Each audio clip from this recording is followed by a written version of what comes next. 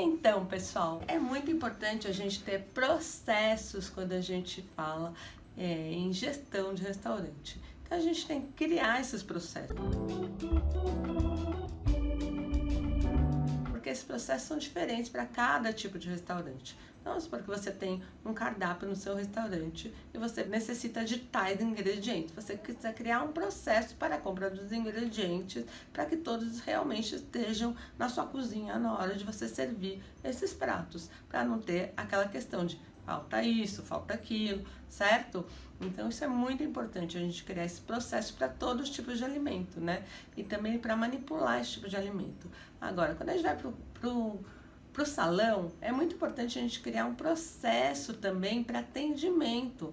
O próprio garçom, o atendente, ele não pode criar a fala dele sozinho, né? Ele não pode atender do jeito que ele quer atender o cliente, tem que atender do jeito que você mandar ele atender, tá? Então é muito importante vocês fazerem um script de como o garçom vai estar atendendo esse cliente, porque ele vai seguir esse script. Isso também é um processo, é um processo que faz parte do processo de vendas. O garçom vai ter que falar as palavras certas para o cliente, tá? E oferecer os pratos certos para o cliente e até oferecer a sobremesa, o cafezinho, tudo de forma ordenada. A gente vê que isso dá muito resultado. Lá na frente a gente consegue aumentar muito nosso faturamento porque o garçom é o nosso vendedor, tá? Então é muito importante ter um processo para isso. Ninguém pode ficar atendendo da maneira que quer atender, tá?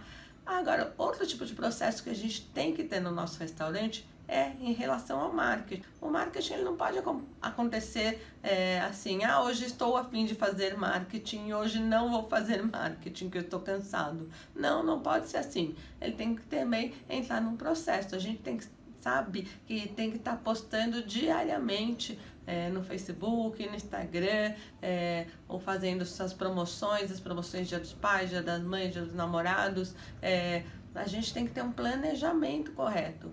É, depois a gente faz um planejamento, a gente vai criar um processo para que isso funcione e que todo mundo siga. Porque se você hoje tem um funcionário que está fazendo esse tipo de ação e amanhã vai trocar o funcionário, o outro vai ter que seguir esse tipo de processo. E é o marketing do restaurante também é um processo, ok? Então vamos pensar um pouquinho como é que a gente pode estar tá criando alguns tipos de processo do nosso restaurante para que é, eles é, determinados a gente possa seguir e fazer uma gestão mais fácil e que vai ser muito, mas muito melhor para o restaurante, que vai aumentar bastante o seu faturamento e a facilidade com que você vai gerir seu restaurante, ok? Então, se você tem alguma dúvida ou se você tem alguma opinião sobre esse assunto, escreve aqui embaixo no meu canal. E antes disso, se inscreva para receber as notificações sobre os outros vídeos que eu estou postando, ok?